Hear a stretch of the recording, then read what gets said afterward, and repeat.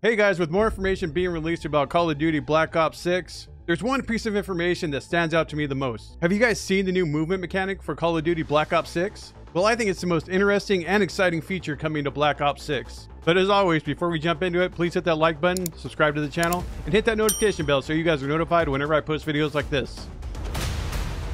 There's a new movement mechanic coming to Black Ops 6, and it's called Omni Movement. Now, if you've played Helldivers 2, then you should be familiar with this new movement mechanic. Omni Movement means that you can sprint in any direction. If you want to sprint backwards, you can do that while still keeping your eyes on your enemy.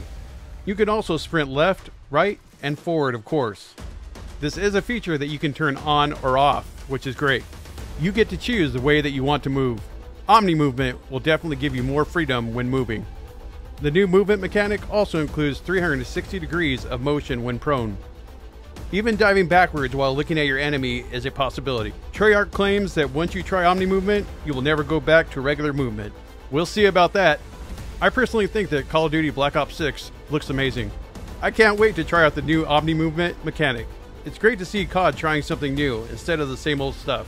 Let me know what you guys think of the new movement mechanic in the comments.